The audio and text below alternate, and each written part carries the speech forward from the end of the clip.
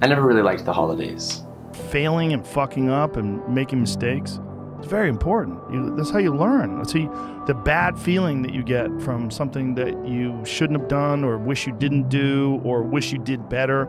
Like, especially failing at something where you half assed it and you just feel like a fucking loser. Like, that just teaches you. It teaches you to get your shit together. The reason I never like the holidays is because um, they kind of always remind me of something that I never really had. I beat my father's ass as a grown man because he was drunk. I went through my whole life him beating up my mother. Oh, this is my earliest memory was him hitting my mother in the face as hard as he could. That's my earliest memory.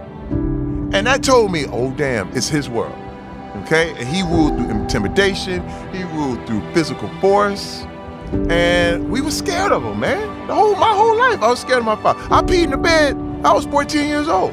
I ran away from home when I was 15. And though that's true, it's not the entire story. I was actually kicked out of my house when I was 15 by my parents. The night that I was kicked out of my house, I walked to a gas station, my duffel bag, this is all that my dad would let me take with me, and I went to the bathroom, and that's where I was planning on staying the night. I want this video to be for anyone that's watching it right now. To remind you that you really do have a lot to be grateful for. We all do. You gotta get through failure. It's very important. And you get through it by just picking yourself back up and moving forward and going.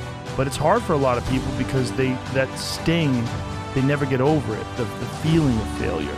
And they don't have a good support system, like good friends. Because people think that the purpose of memory is to remember the past. And that's not the purpose of memory. The purpose of memory is to extract out from the past lessons to structure the future.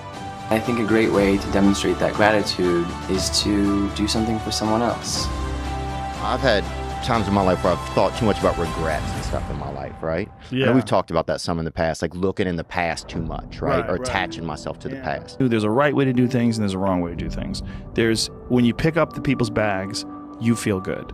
Let's tell kids that. Yeah. Let's teach people that. You pick Yeah. up the bags, you feel good. You hold the door open, you feel good. You help someone, you feel good.